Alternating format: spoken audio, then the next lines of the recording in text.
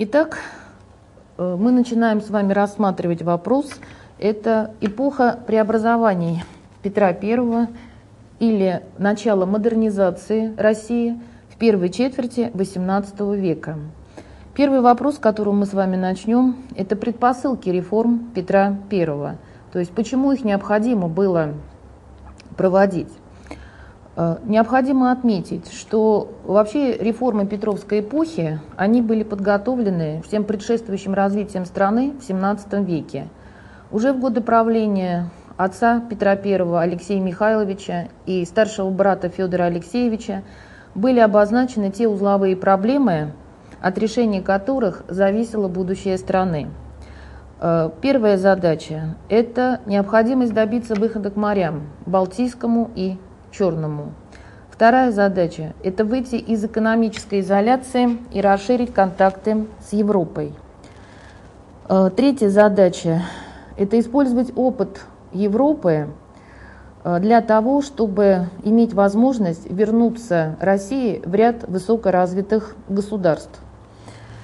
И вот эти вот задачи предстояло решить Петру Первому, годы правления которого 1682-1725 год.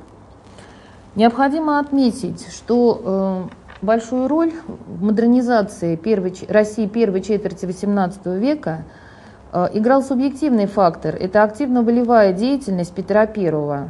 И Петр I вот своей энергией, своей силой волей – Э, фактически заставлял вот все свое окружение проводить те преобразования в стране, которые он считал нужными.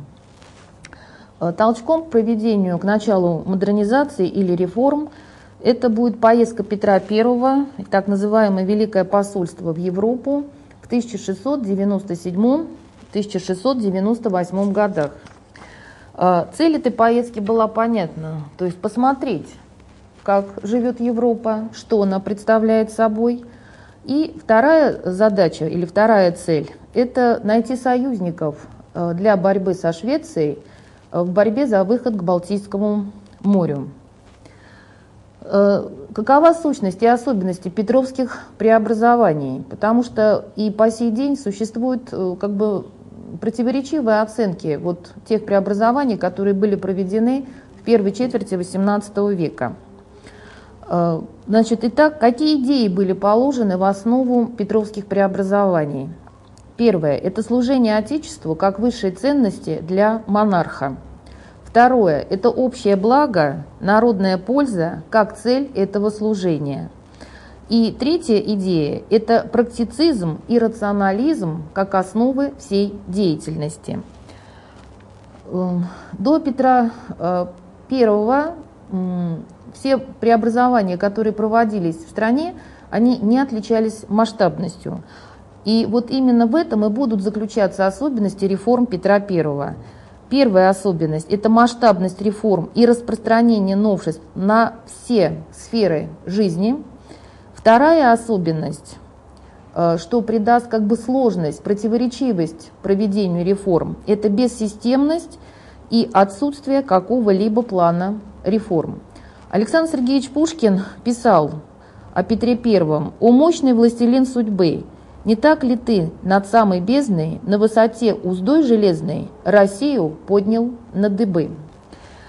э, Еще одной особенностью реформ Петра Первого это э, будет э, проведение военной реформы. То есть решение внешнеполитической задачи, борьба за выход к Балтийскому морю – потянет за собой проведение всех остальных э, реформ. Итак, Северная война, которую начнет Россия в 1700 году и закончит в 1721 году, она явится ускорителем петровских реформ. Каковы же причины Северной войны? Первая причина – это имперская политика и стремление к господству на Балтике. Действительно, Швеция считала Э, Балтийское море как бы своим внутренним морем. Э, вторая причина – это необходимость получения России выхода в Европу через Балтийское море и приобретения прибалтийских э, территорий. Ну и третья причина, она носит геополитический характер. Это противоречие Швеции с европейскими державами. Э, союзниками России в этой войне э, выступят э, Дания, Польша и Саксония. Война будет проходить в несколько этапов. Первый этап – это датский, 1700-1701 год. Основным сражением в этой войне это будет сражение под Нарвой, 1700 год, где русская армия потерпит сокрушительное поражение. И это будет действительно естественным как бы, итогом, потому что э, русская армия не воевала с европейскими армией такого уровня, как была шведская армия. Э, те иностранные специалисты, офицеры, которые служили в русской армии, они фактически перешли на сторону Швеции – на поле боя остались только Семеновские и Преображенские полки. Это э, будущая русская гвардия, которая действительно, буквально стоя по колено в крови, с поля боя не ушли. Э, Карл XII, король Швеции, э, после сражения под Нарвой решил, что Россия разгромлена, и как бы Северная война на этом закончена. Но надо было знать Петра I. Поражение его только разозлило и заставила действовать еще с большей активностью. И когда уже э, в следующий период встретится русская и шведская армия, то эта русская армия будет совершенно другая, не та, которая она была под Нарвой. Э, второй период – это польский, 1701-1706 год. Э, военные действия Швеции в Европе на территории Саксонии и Польши, и фактически за первый и второй период из войны выводятся и Дания – и Саксония, и Польша. Россия и Швеция остаются один на один. А, пока э, Швеция воюет в Саксонии и в Польше, э, уже в 1702 году э, русская армия начинает иметь военный успех в Прибалтике. Значит, взят, взяты крепости Орешек, Нарва и Тарту.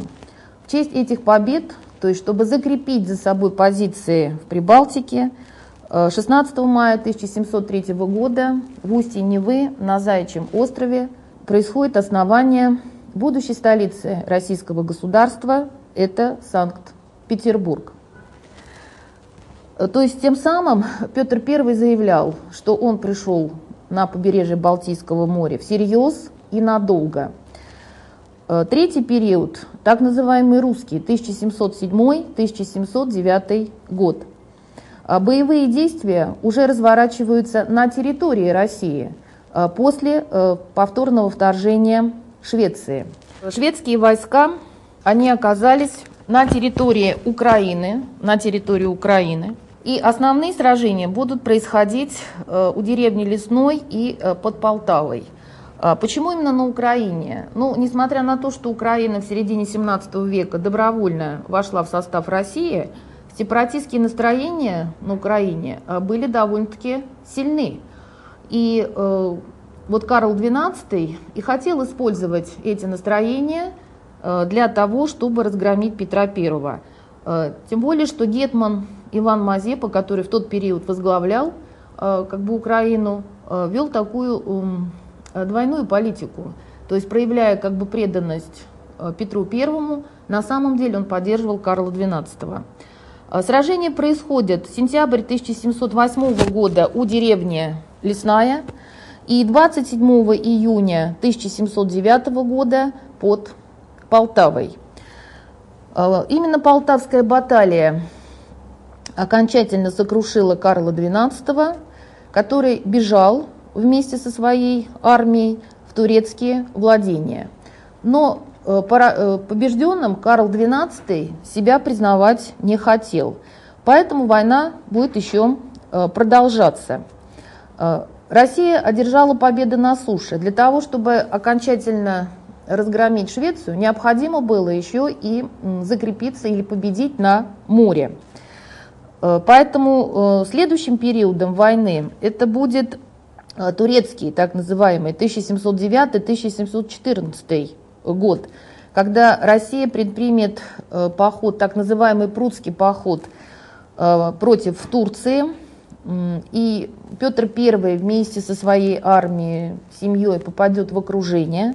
То есть фактически это будет поражение России, но э, в Прибалтике э, русские войска 1710 год значит, возобновляют военные действия, захватывают Ригу, Выборг и Ревель.